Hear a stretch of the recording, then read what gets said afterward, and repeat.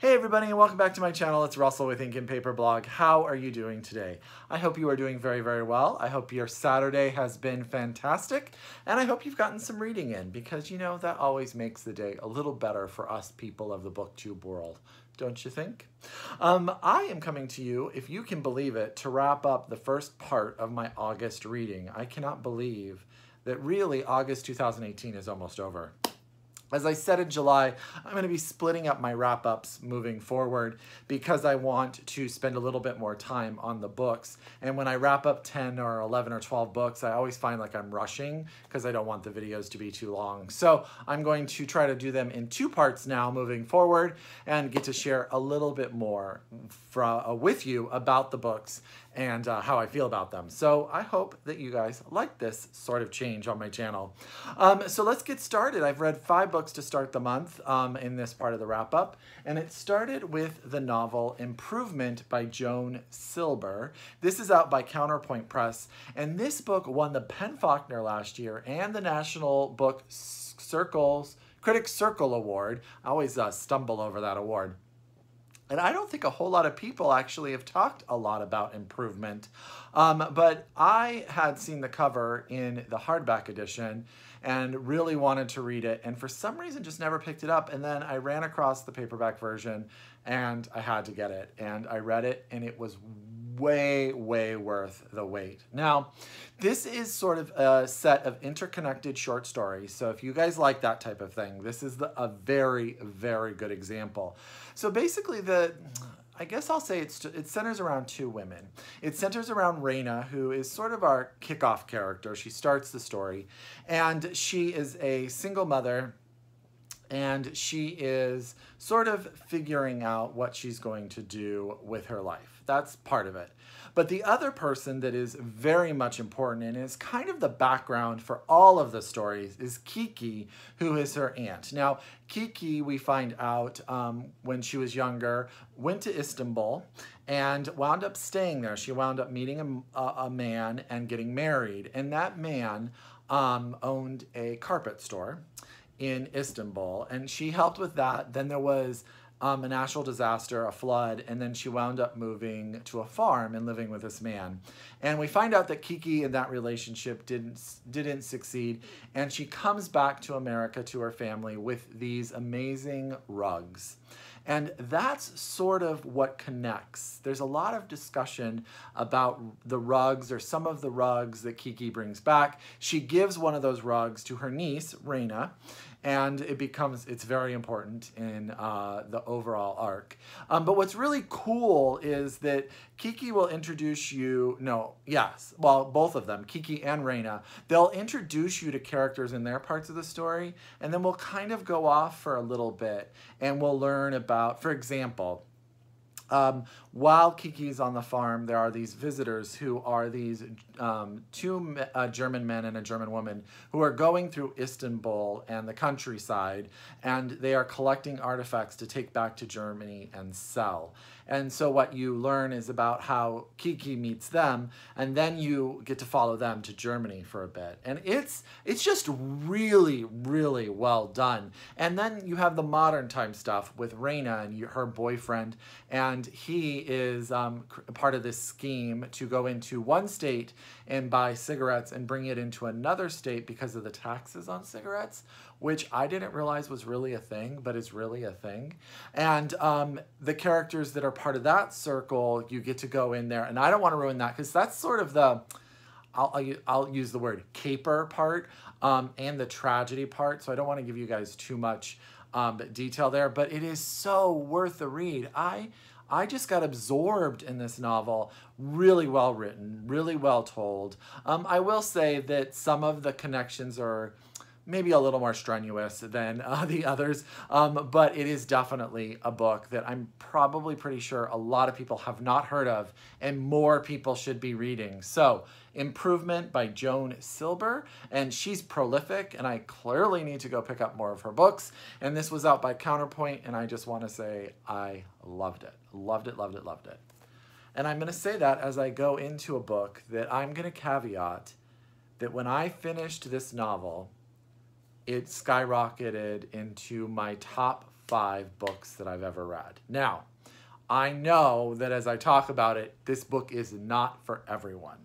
But for me, it was darn near perfect.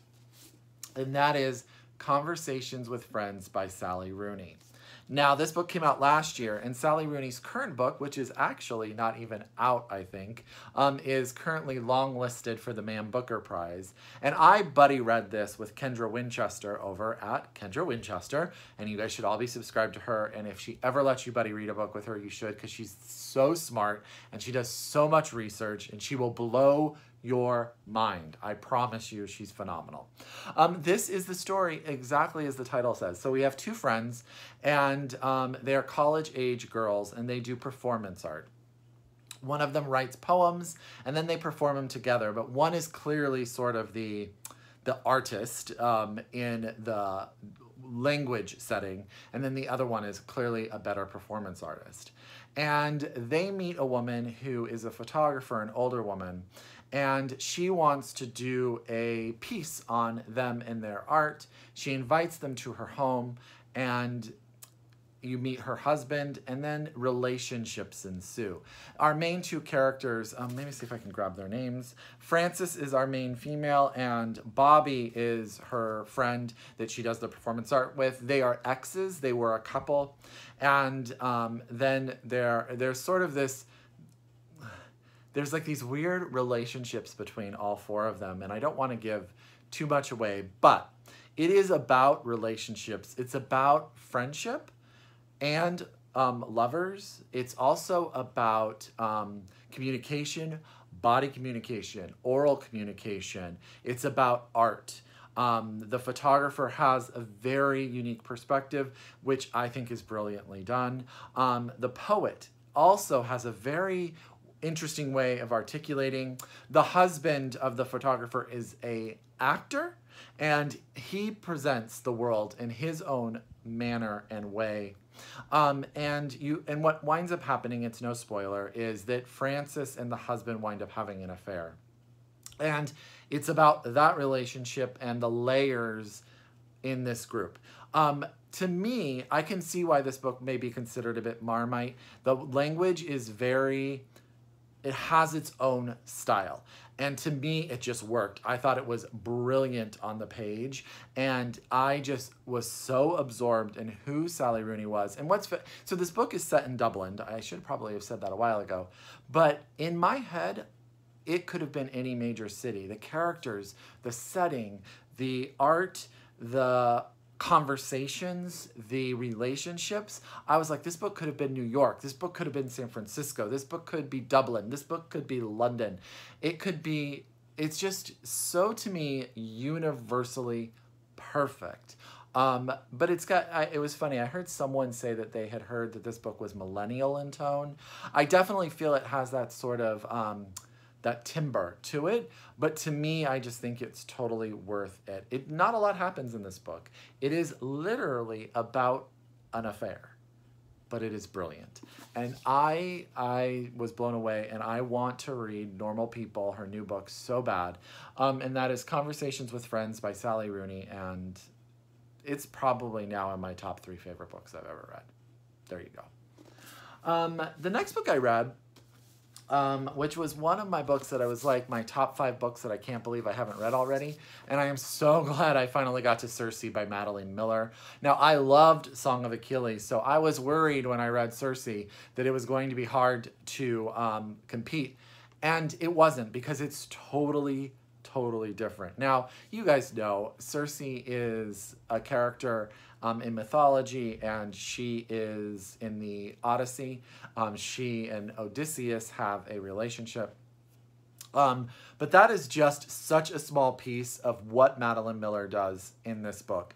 She gives Circe an entire backstory. She gives her relationships and character building. And Circe turns into this independent woman who is going to do things that that cause her harm, but also cause her happiness.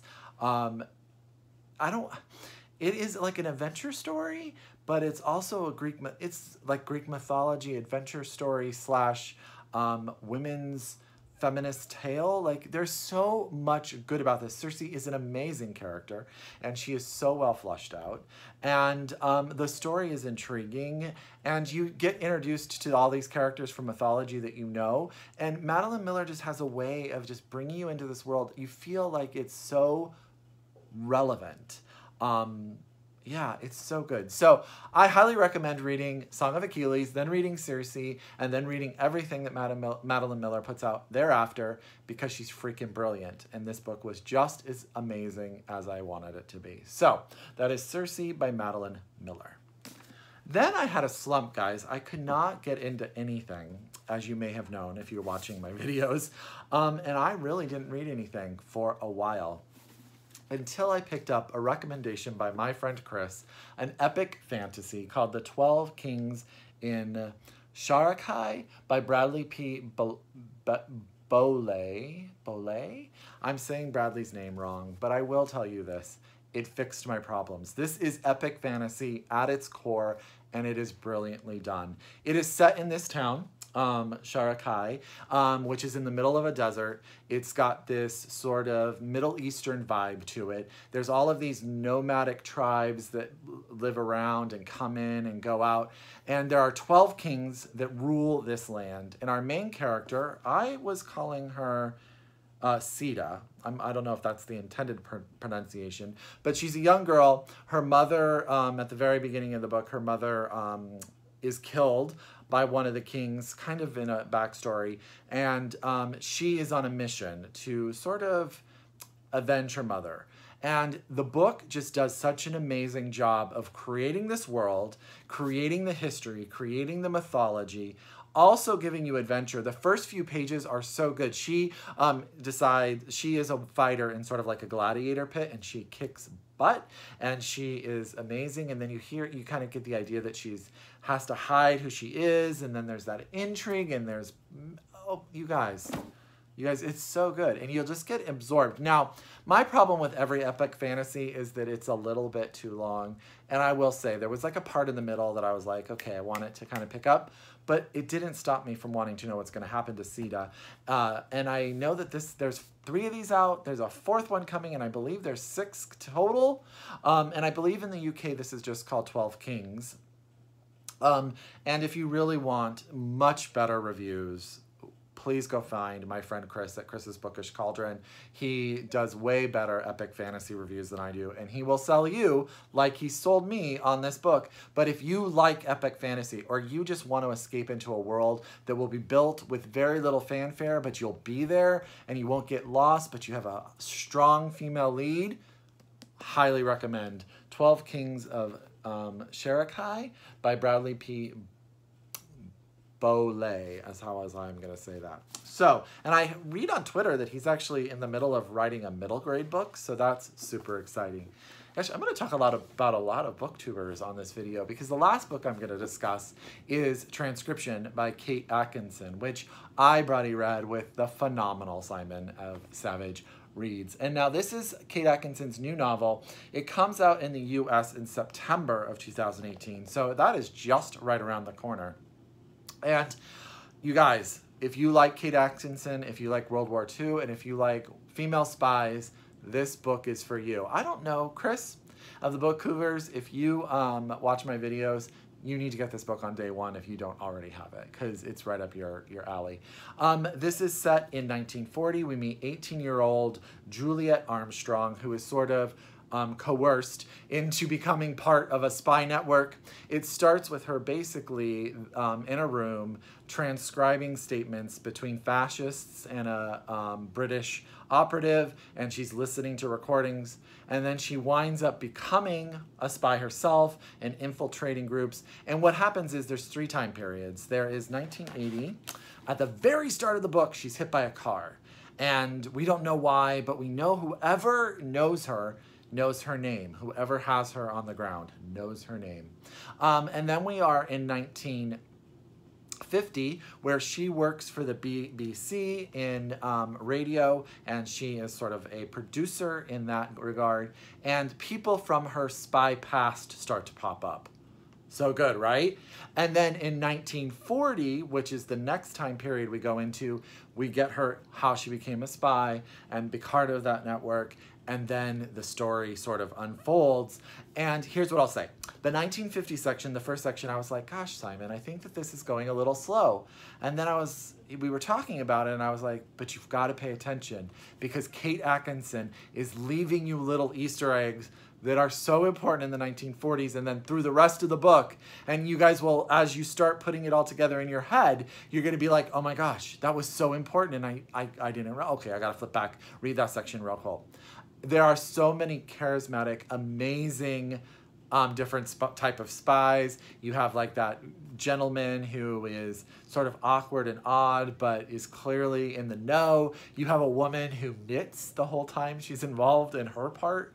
Um, you have the woman of the night who is seducing the men. You have Juliet who is just so real. And what I love about her is that she's 18 and she's fresh. And it's 1940, so she's like almost virginal at points, but she's doing all this crazy, amazing stuff.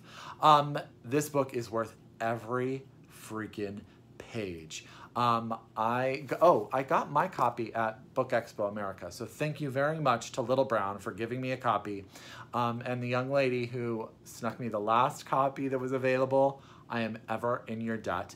Um, and if you like Kate Atkinson, she will not let you down in this phenomenal 1940s, 1950s women's spy thriller. Transcription out in September in the US. I think it's out in September in the UK as well. Um, the UK cover has a flamingo on the on the on the cover. So important that you know. Oh gosh, you guys, I can't wait. Read this email me, comment, talk to me about it. It is so good. So that is Kate Atkinson's, Atkinson's transcription. And I said that I was going to make these videos shorter, and there you go. Five books took me over 17 minutes. I have read some great stuff in the month of August, and I'm really glad that I am doing these in two parts. So, as always, if you are a return subscriber, thank you so very, very much. If you're new to my channel, thank you. I hope you like this video and you come back for more. And as always, until next time, happy reading and I'll talk to you soon. Bye!